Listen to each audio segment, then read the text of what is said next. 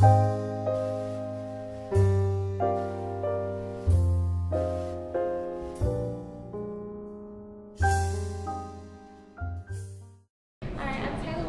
be showing you the volume of the pipettes. First things first, I have to measure out the initial mass of our watch glass. So we're going to push zero, we're going to read zero in here. And we're going to stick our watch glass on top of the balance. And we're going to include our paper towel on the top so that no, no external things will mess up. Our mass is going to be 136.026 and that is our initial mass. Now I want to let you know that the initial mass will never change so for the next two processes the initial mass of this watch glass will always be the same. So now we're going to start with the volume of the pipette. I'm going to make sure everything's out of here. I'm going to stick the pipette inside the solution. Not, I'm not going to let it touch the bottom of the container. I'm going to squeeze the ball, put it on top of the pipette, such it up. I'm going to use my finger to stop it, and I'm going to read out.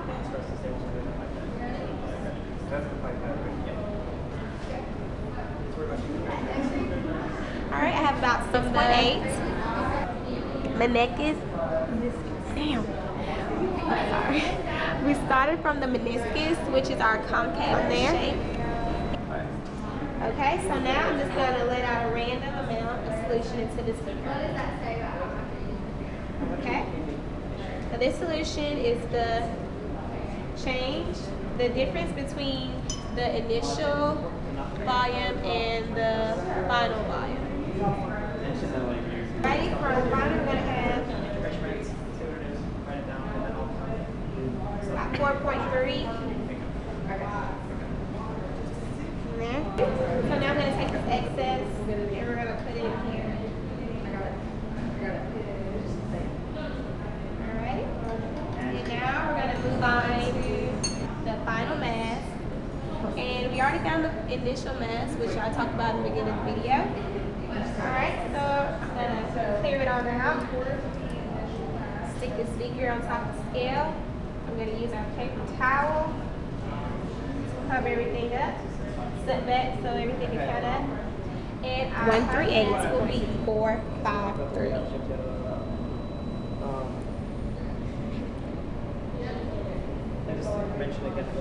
Our mass is going to turn out to be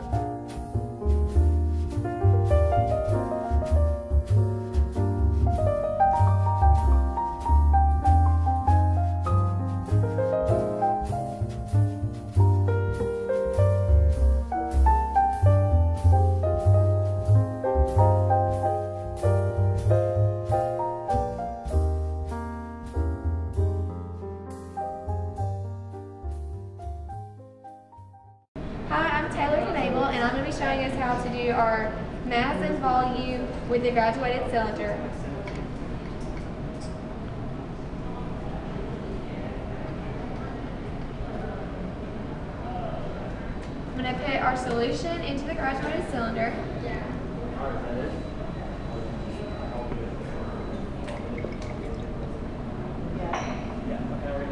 And I'm going to measure it. 3.56.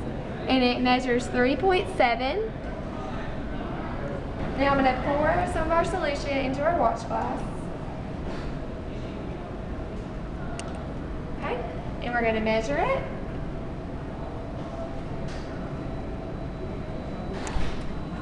And it reads 138.258. Our overall mass is 2.224.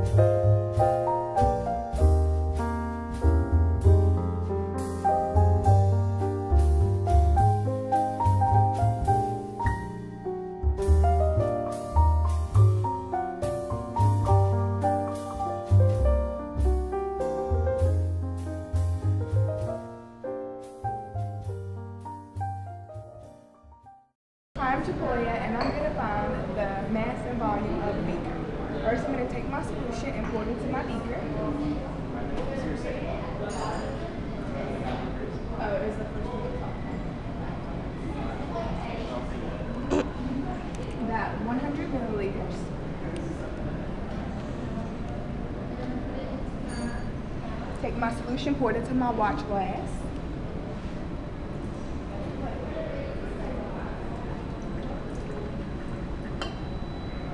leaves me about 50 milliliters.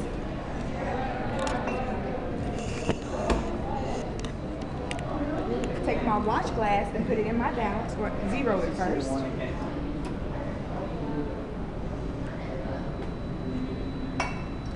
Paper towel.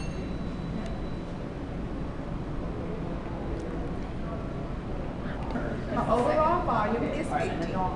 Now, my measurement is going to be 171.451.